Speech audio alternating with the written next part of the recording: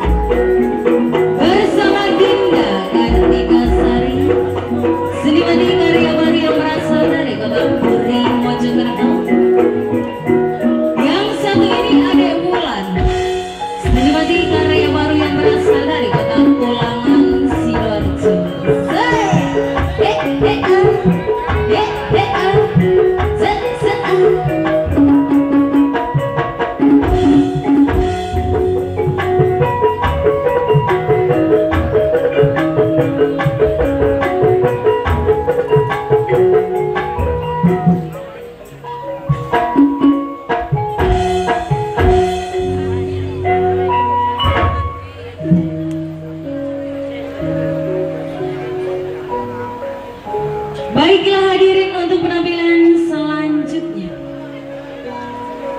Inilah empat seni batik karya baru.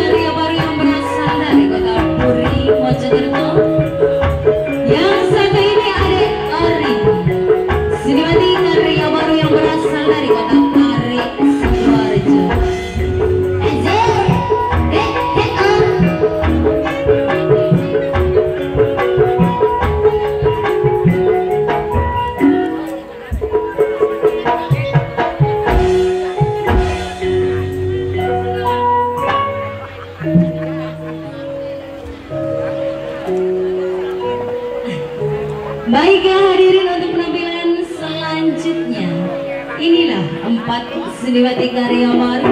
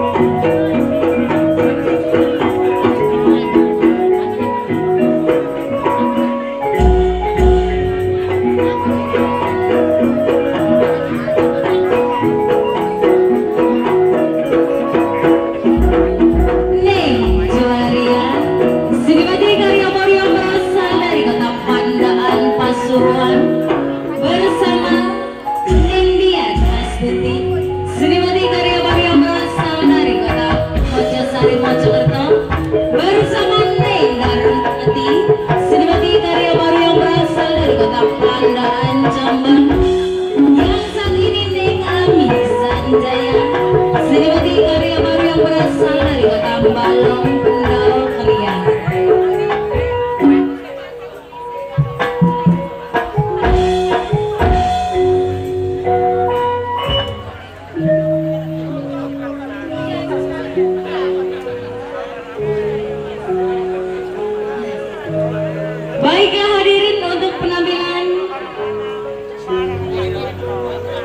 kami yang terakhir inilah tiga sinimati karya baru juga pengereman karya baru